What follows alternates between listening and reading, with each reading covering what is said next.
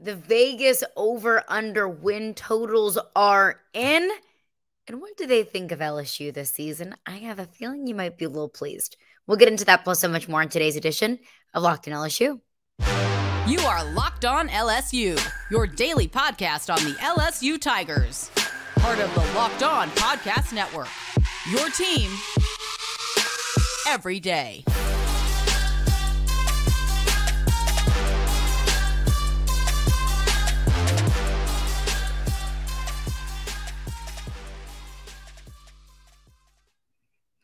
Well, thank you for making Locked On LSU your first listen every single day. We're free and available wherever you get your podcast. But do not forget, you can also check us out on YouTube as well. So you can listen on the go, listen on your preferred podcast platform. But hey, throw us up on your smartphone, your smart TV, on your computer. Bring up YouTube, just search Locked On LSU into the search bar, and you can check us out so you won't miss a single second of your Locked on LSU content. My name is Caroline Fenton, and I am your host as I am every single day. You can follow me on Twitter at Caroline Fenton1, or you can follow along with the podcast at Locked On LSU. Just appreciate you for being here. Appreciate you for interacting with the podcast, and always appreciate you for making Locked On LSU your first listen every single day. It's here, people. Vegas has released the over under win totals for every SEC team going into this season. And I always think this is interesting because it gives me a good barometer of what everyone else thinks about your team. It doesn't have to, it's not LSU specific.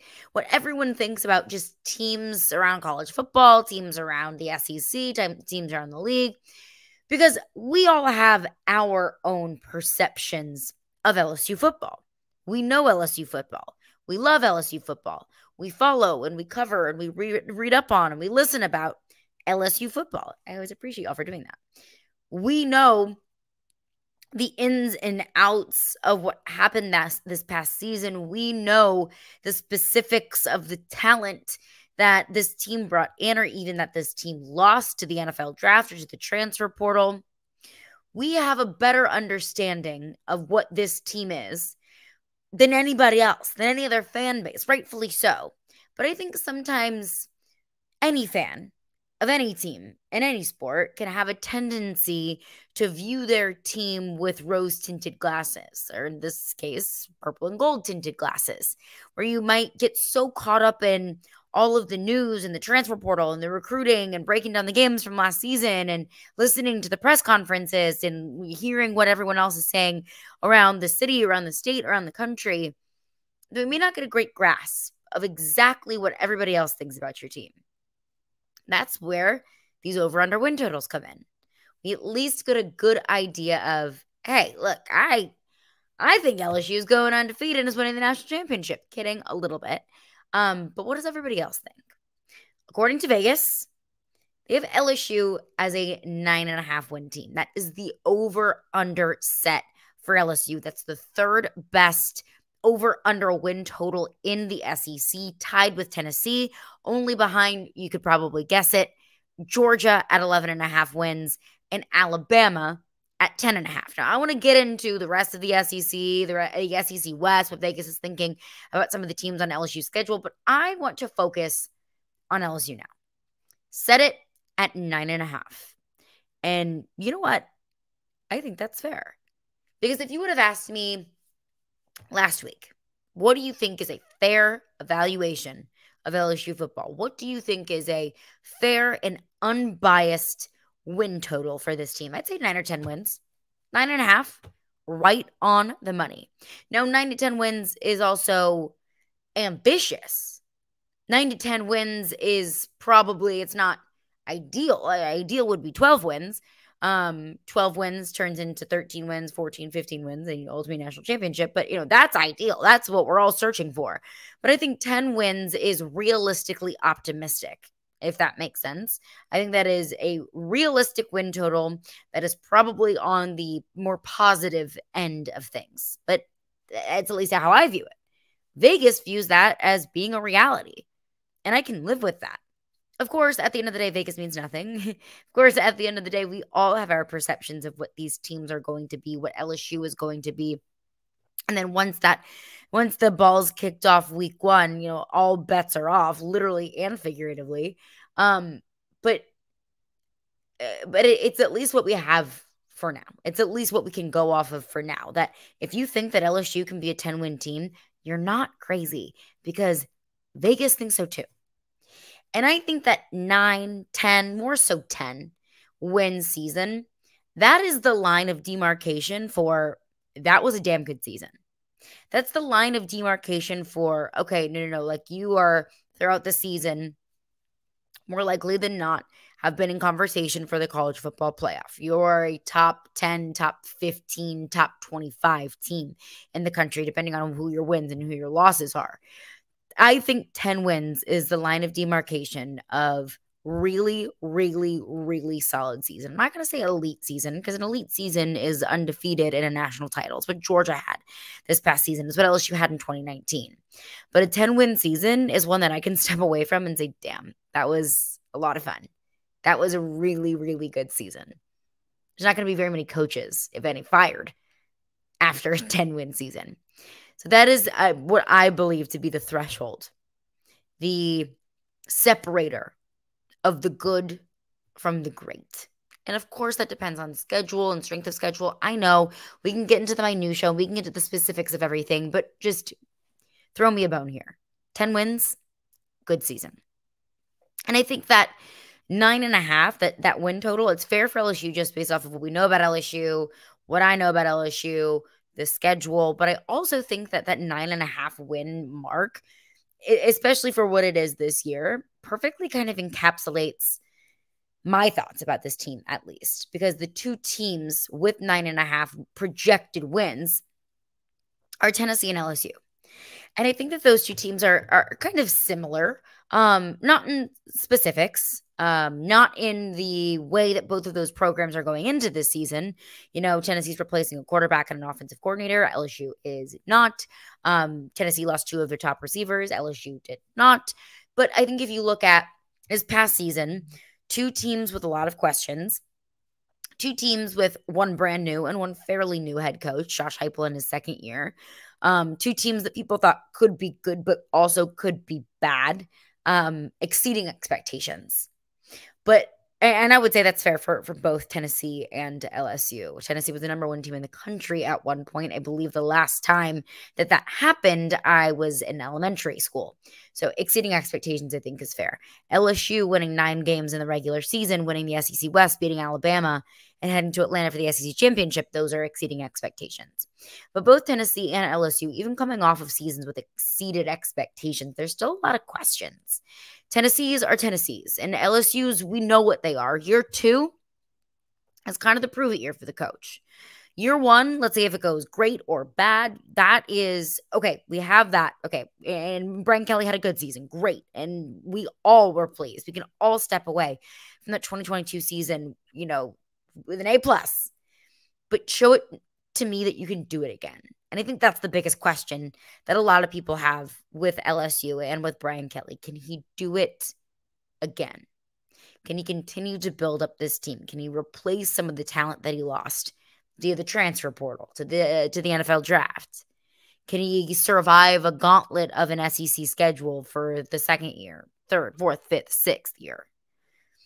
It's fair. It's a totally fair skepticism because look at teams like Alabama and the state that that roster is in.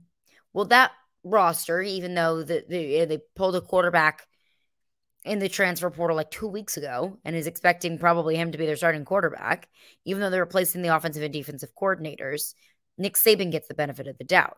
Nick Saban goes into any season, doesn't matter what's going on, and the expectation is 10 wins. Brian Kelly does not have that benefit of the doubt quite yet. Skepticism is fair. But Vegas is telling you, look out for LSU because Vegas is telling you that they think it's got to be pretty good. And I'm pretty excited about that. And I think you should be too. But coming up next, games that I think that nine and a half over under win total could be hinging on. We'll get into that coming up next. We'll break down LSU's schedule coming up next. But before we do that, I want to tell you about Built Bar. Built Bar is so freaking delicious. And the best part about Built Bar is if you want a snack and you don't want to sacrifice all the sugar and calories, then you need the best tasting protein bar ever. It's Built Bar. You've got to try it. And if you're like me and you want to make better snack choices, you want to make healthier choices, and you don't want to compromise on taste, then I've got the perfect thing for you because Built Bars and Built Puffs are healthy and they taste amazing. They taste so amazing, in fact, that you don't even think they're good for you. So you've got to try them. And what makes them so good is that they're covered in 100% real dark chocolate. That's right, real chocolate. They taste like a candy bar and they come in delicious candy flavors. We've got churro, peanut butter brownie, cookies and cream. I mean, that sounds like I'm describing candy bars, but these are built bars and they're great for you. Only 130 calories, only four grams of sugar, and a whopping 17 grams of protein. And now you won't need to wait around to get a box. For years, we've been talking about ordering built bars at built.com, but now you can get them at your local Walmart or Sam's Club while you still can get your specialty flavors at built.com, of course. So head to Walmart, walk to the pharmacy section, grab yourself a box of built bars. You can pick up a four bar box of cookies and cream, double chocolate, or coconut puffs. If you're close to a Sam's Club, run in there, grab a 13 bar box with our hit flavors brownie batter puff and churro puff. So delicious, good for you. You can thank me later. Well, thanks again for making Locked on LSU your first listen every single day. We are free and available wherever you get your podcasts. Every dayers on the podcast tomorrow. Who has LSU extended offers to in the transfer portal? What are those position groups looking like they're shaping up to be? We'll get into that on tomorrow's edition of Locked on LSU. But we're now breaking down Vegas's over under win totals that have been set for the 2023 season. Vegas has LSU the over under win total at nine and a half. It's fair. I would have said, I think this is probably a nine to 10 win team. Ideally, 10 plus, won nine last year. Build upon that. We know that success indeed is not linear. And I've said it before, I will say it so many times again. But I do wonder. I, I kind of wanted to discuss this with you, with you guys, go through it, kind of my own thought process as to what are those games that Vegas is kind of hinging that over under win total on. There's always that one or a handful of games that could be the hook. You know, that we might expect you to lose to XYZ and ABC, but it's that one game that we're just not quite sure about. So, looking at LSU's schedule, of course, we know that they open at Florida, uh, not at Florida State, but against Florida State in Orlando, host Grambling, on the road at Mississippi State, host Arkansas, on the road at Ole Miss, on the road at Missouri, hosting Auburn, hosting Army, on the road at Alabama, hosting Florida, hosting Georgia State, and then of course hosting Texas A&M to round out the regular season. Here's my hypothesis. Here's my line of thinking, and please tell me if you think anything different. I think the three games, 12 games in a season, nine and a half game win total. That, you know, the three games, you know, kind of hooks that Vegas could be potentially hinging on. One, I think, is Florida State, and I think that's fair. There is so much love for Florida State this offseason. Not going to pretend to be a genius about Florida State, but I do know that Florida State last season did not beat a single ranked opponent. I do like what I've seen from Jordan Travis. He is a bala. Um, but everybody's very high on Florida State. That's going to be the game that really sets the season, sets the tone, sets the momentum.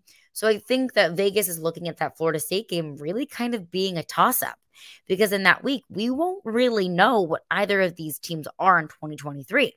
We can take what we've learned from 2022, we can use whatever FPI you know, algorithm XYZ one, two, three kind of scientific method that we like to project how good these teams are going to be, but we truly won't know.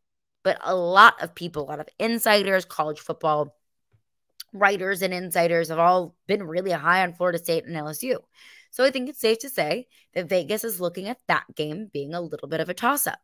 I wouldn't be surprised to see Florida State maybe favored by two in that game, just getting a little bit of the the home crowd advantage there. I would be shocked to see that spread be any further than three. That I would call is a toss up. So I think Florida State is one of those games that the nine and a half is hinging on.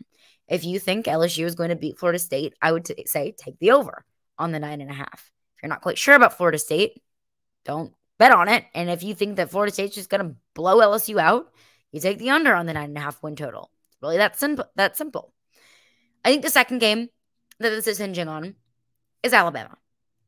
And I know, I know, I know, I know. The roster and the coordinators, I get it. Alabama's roster is not in great shape. Um, they've got three quarterbacks in that quarterback room that are going to be battling it out. Tyler Buchner, who I expect to be the starting quarterback, just got to Tuscaloosa like a week ago. Um, they're replacing Bill O'Brien and Pete Golding, their offensive coordinators, offensive and defensive coordinators, respectively. Um, so you know you're replacing your your signal callers and your uh, and your play callers. That's uh, pretty tough to do, and not to mention you're losing your top defensive player, Will Anderson. So I know, I know about the roster. I know about the coaching staff. I know everything about Alabama. It's on the road at Alabama. That's tough. You know, tally in Alabama's corner. It's also really difficult to beat Alabama two years in a row. It's not impossible.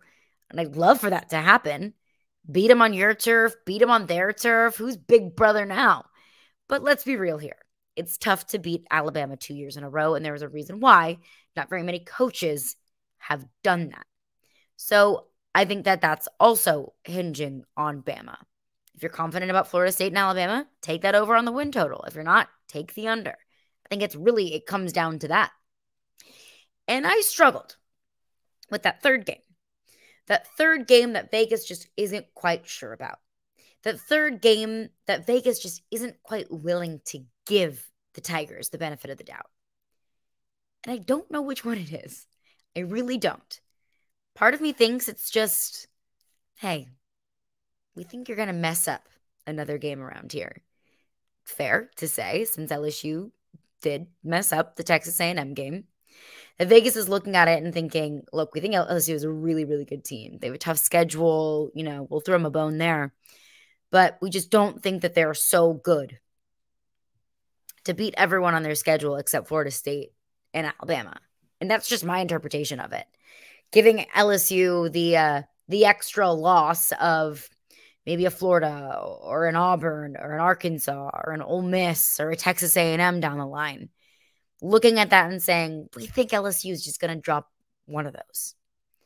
Now, looking at those teams, I'm very pleased with what I saw from Texas A&M this past year. That's not to say that Texas A&M couldn't improve this season. Florida, not that worried about it.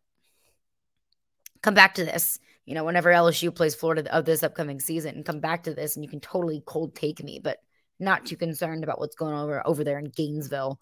Um, Arkansas, again, another team that they've got a lot of talent. KJ Jefferson is uh, is kind of slated to be one of the top quarterbacks, if not the top quarterback in the SEC this year. I don't know. I know that sounds crazy.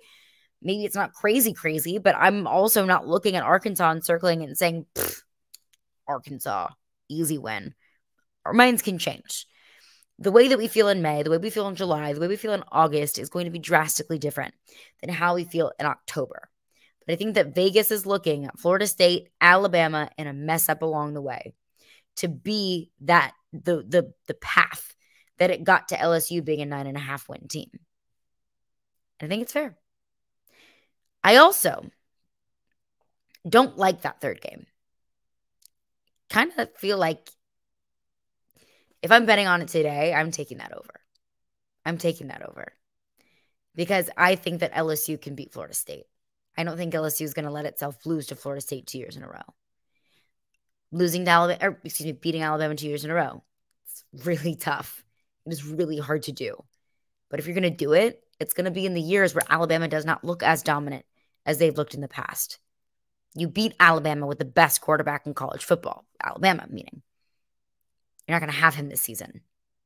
Looking at Ole Miss and Arkansas and Florida and Texas A&M, those are all teams with their flaws. Course, I know my team better than I know those teams. But looking at the schedule, man, I'm taking the over on the nine and a half. But let's take a look around the rest of the SEC. What does Vegas think about those other teams, the Arkansas, the Texas A&Ms, the Floridas of the SEC? We'll get into that coming up next. Well, thanks again for making Locked on LSU your first listen every single day. We are free and available wherever you get your podcasts and on YouTube as well. So Vegas has LSU at a nine and a half win over under win total. Georgia leads the way with 11 and a half wins. And call me a hater. I'd be shocked if Georgia goes three years in a row without losing a single regular season game. But crazier things have happened. Um, I I lean toward the under there, but it's fair. I mean, it's totally fair. Georgia's back to back national champions. You know, they haven't lost a regular season game in the last two years. It's totally fair. If they would have said it at 10 and a half, everyone would have hammered the over. Um, Alabama is at 10 and a half. Again, I think it's high, but that's the Nick Saban effect. That is the Nick Saban benefit of the doubt. LSU and Tennessee, both at nine and a half wins. That to me screams we think that these are great teams. We just have a few more questions about them. We can't quite bump them up to that 10 win mark. And this is the interesting thing. Like there's a, a very obvious drop off. You got your four teams that Vegas thinks are going to be good, and I also do think are going to be good, and that shows in the win, um, the win totals: Georgia, Alabama, LSU, Tennessee, from 11 and a half to nine and a half wins. You've got the teams that Vegas thinks is going to be just truly dreadful, and that is just Vanderbilt and also um, Fair. But then there's this massive, mushy middle. That's a big drop off from the top teams and also a big increase from the bottom team in Vanderbilt. Ole Miss and Texas A&M are set at seven and a half wins. Um, I struggle with these teams. I really do because Texas A&M last year, everyone told me that they were supposed to be the greatest thing since sliced bread. They didn't even make a bowl game. And then I'm going to hear from Texas A&M fans saying, "We beat you. I'm aware. I know that, but you weren't a good team." Um, and the same thing with Ole Miss. I think that Ole Miss with Lane Kiffin is always going to be that 7 and 8 win team. They're always going to be that team that plays really well, that beats a good bit of conference opponents, but continuously just gets beat by teams that are simply better than them. That's what I see Ole Miss being. I don't honestly see a 10 win season in Ole Miss's near future. I I will believe it when I see it. And also, I I well, I said it a couple times in the podcast. I will couch that again. Anything can happen. Everything and anything can change from now until next month, until August, until September, until November, until the end of the season. Things change. This is just my perception of these teams at this point. So both Ole Miss and Texas A&M at seven and a half wins, and then you've got this massive chunk of teams: Kentucky, Auburn, Arkansas, Mississippi State, Mizzou, South Carolina, all set at six and a half wins. That is a big old lump of average in the SEC. And it's it really I think will be interesting to see kind of how that middle shakes out. Um so you know I, I have no problem with with with those win totals. Um, you know, I uh yeah, I have no problem with those win totals. I think those are all fair. Those are all teams that are good, that have good talent, but some teams one just haven't gotten too far past that threshold. Um, new coaches, Hugh Freeze at Auburn, new quarterbacks, um, Kentucky, um, new coach at Mississippi State as well. Rest in peace to the Pirate. So there are all these teams that are just I like honestly I look at to be average, and then Florida's at five and a half wins. It's eh, not great to be a Florida Gator at the moment, but it's really interesting to see how big of an average middle there really is in the SEC, and I think that's just kind of it is what it is. You know, you uh, play in a really competitive conference, and there are teams that are coming into this season with simply just better circumstances than other teams. There are some teams like Florida or Auburn that are just dealing with a whole bunch of stuff behind closed doors, that are dealing with transitions, that are dealing with the transfer portal, and that shows up in the win total. And I don't doubt for a single second that there's going to be one of these six and a half teams that are a pesky little, you know, competitive team throughout the throughout the season, end up winning eight or nine games, end up maybe being a giant killer. Um, hopefully not our giant, but a giant. And I wouldn't be surprised to see one of these teams, you know, an Alabama or dead Tennessee that ends up winning seven games. I don't know. I mean, crazier things have happened. So, you know, it's Vegas. Take it with a grain of salt. It is Vegas's job to win money. It is not Vegas's job to be right. So don't take these as Bible. This is not what is going to happen. This is simply just projections. And this is simply just Vegas playing into the trends of the masses. They're here to make money. But it is interesting. And I like to use it as a fun barometer. And I will tell you what, I am just fine with LSU's over under win total at nine and a half. Mostly because I feel just fine with LSU hitting that over. That's going to do it for me today. Thank you for making Locked On LSU your first listen every single day. Every day is coming up tomorrow on the podcast. Transfer portal breakdown. Who has received an offer from LSU in the transfer portal? All of that coming up on tomorrow's edition of Locked On LSU.